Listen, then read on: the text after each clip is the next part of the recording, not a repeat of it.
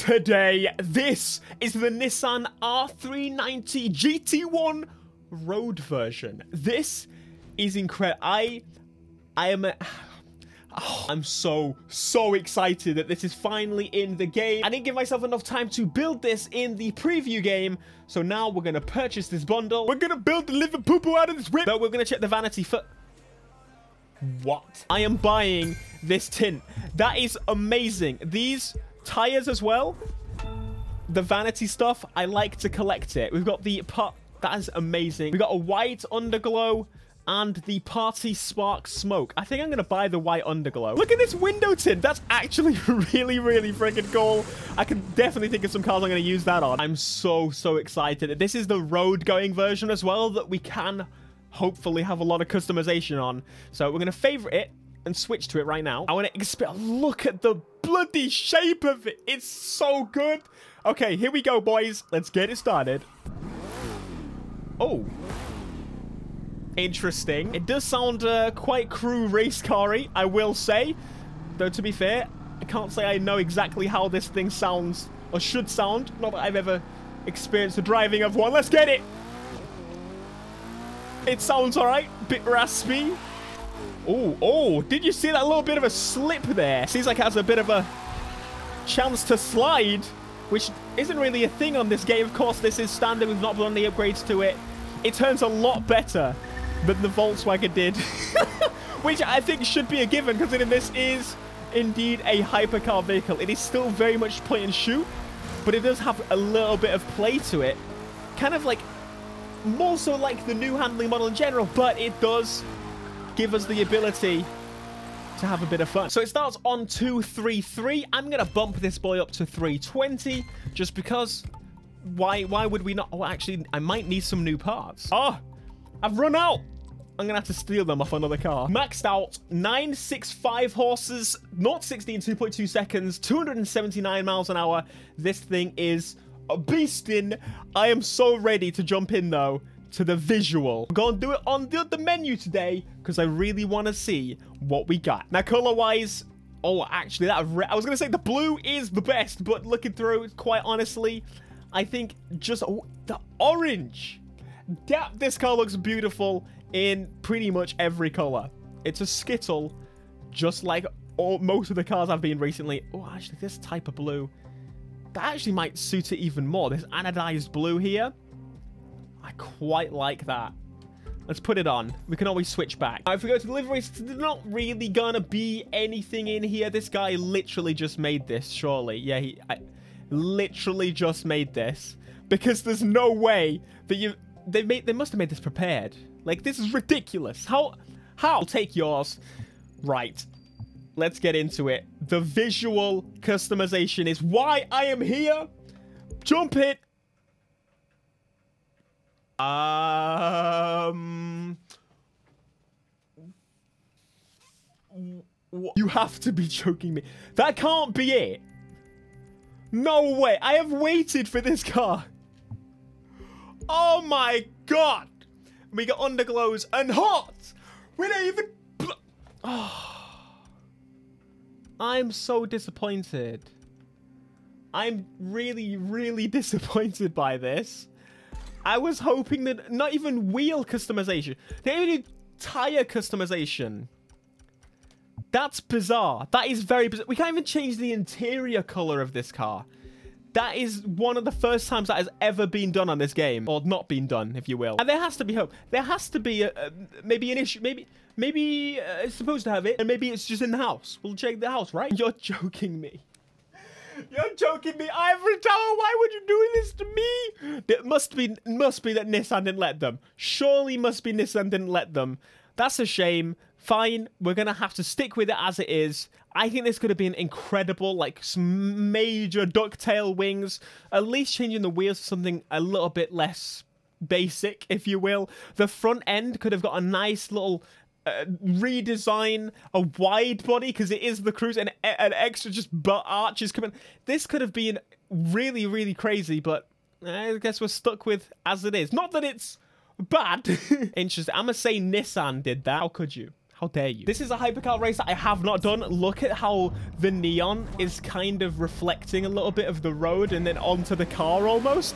That is awesome. So this hypercar race, it says I've not done it yet. I don't know if that's true. Maybe the game just didn't save or something, but it's a hypercar race I have apparently not completed. Maybe it's one that I did in a summit, so I never felt the need to do properly, but this thing is quick. Cheapest. I think the official car said it was possible to reach 220 or something. I mean, we've already kind of smashed that.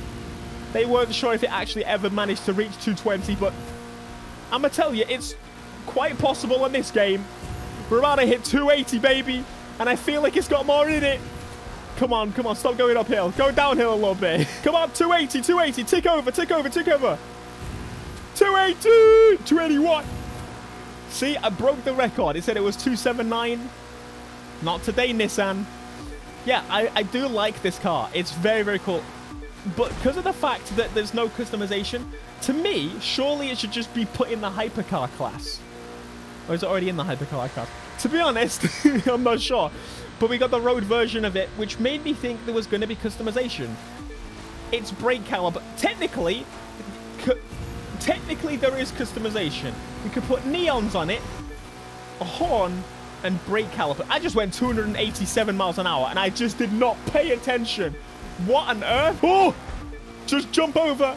I'm like a Paul Walker in the skyline. Very nice. Very cool. Very quick, boy.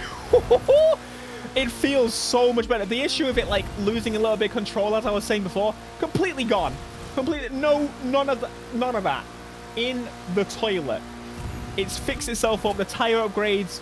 Honestly, it did have quite a lengthy upgrade path compared to a lot of the other hypercars. A lot of the other hypercars recently have been starting at the highest rank possible. Bit of off-road. Bit of a kiss on that traffic car there. Please stay on my way. 35 seconds ahead of everybody. Now, this is a good car. This is a good car. Just a shame about the customization. I must say that because if it's a hypercar or street car in the crew, the first thing I want to do is to make it look stupid. Not stupid, but in reality, I make it look like how I would like it to look like. That's the point. Like, it's an RPG, it's a car PG, as they were saying for the first game, without now the customization of the character element of it. I, I need more customers. I would rather a car with more customizations. Right, give me some parts. Should be some more 320s to slap on some of the some future cars. And we're back into the daylight. Wow. Experience, eh? What an experience. Would I recommend this vehicle? Of course, I, I'm going to say yes. In the crew, vehicles are quite, e or money is quite easy to come by. Uh, do a day of grinding and you get this pack super easy. Not even a day of grinding, like I'd say three, four hours of doing long races, which aren't the quickest way to make money, and you can probably get this pack pretty easily. But when I recommend going out the way to pay crew credits for 290, 290. Oh, I'm drafting. That would be why I went 300 miles an hour. What the flying heck was happening there? How am I holding 290? What is going on with this car? That is bizarre. We're going to draft with this man. Well, it's one of the reasons I love the crew. You just have a nice... oh, we killed him! To see a nice drive with randomers, but I did just destroy that man. I'm gaining on this guy. Holy crap! 290 and I'm not drafting. That is pretty mental. But there we go. That's what it is. It's a uh, bit disappointing, but hey, it's a it's a pretty quick car, and I'm definitely going to be one of my rosters. I am a, uh, quite a Nissan fanboy, so for me, if we can smash some Bugattis with this, there's a Huracan there. Not quite a Bugatti, but cheapest. I cleared the way for you, mate. I think he still crashed. So let me know your thoughts on this car. Are you picking it up? I'd love to know. Because uh, if I'd watched content on it, I, I, still would have picked it up myself personally. I'm going reverse. This track is just is completely off what it's supposed to be. It's so funny. Uh, but yeah, I, I just think that I don't know. I was I was hoping that we could get some crazy wings, some crazy wide body, very very crew style. I hope hope that maybe they'll add that in the next game. I doubt it'd be something they'd update for this game, but to get cars that don't really, you wouldn't really customize to have options like this. But again, I we don't know who's to blame and all that, but in terms of how it drives, it drives really, really well. It drives kind of like, more like the GT cars than the road-going cars, which is very cool. It feels mixed kind of normal hypercar mixed with touring car. I feel like they've just played around with it a little bit, if that makes sense. But no, I'm very, I'm very happy with it. It does slide a little bit more than a touring car should or would, but some of them do. I do kind of wish we could change the red interior because it does make me think that the car should mostly be in red. It does sound like a race car, actually. You can hear it. Nissan, this is a dirty car. How dare you say that this is a road car? That's a lot. Ah!